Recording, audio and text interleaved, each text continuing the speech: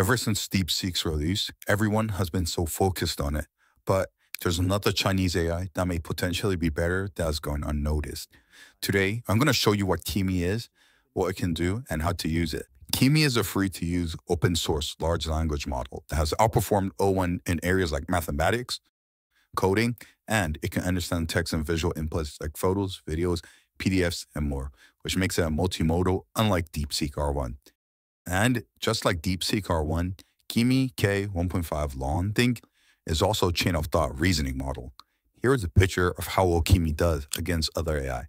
I wanted to see if Kimi can read the graph, and it can. Unlike DeepSeek, it can read pictures, videos, etc. So even if you are going to use DeepSeek as your main AI model, you can still use Kimi to analyze your photos and videos. Now I'm going to ask it for some good gaming mouses. Unlike ChatGPT and DeepSeek, it gives the Google search at the side, which could be useful, but it doesn't give any direct links. Medium are two sorted arrays.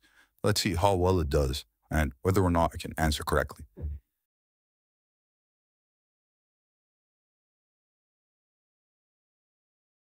So it took around seven minutes, which is a pretty long time. But DeepSeek also takes around seven minutes, while ChatGPT and most humans cannot solve that at all.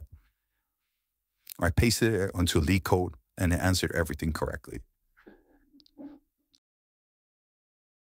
Here's a picture of some math problems. So Kimi will have to analyze the photo and also answer the multiple math problems.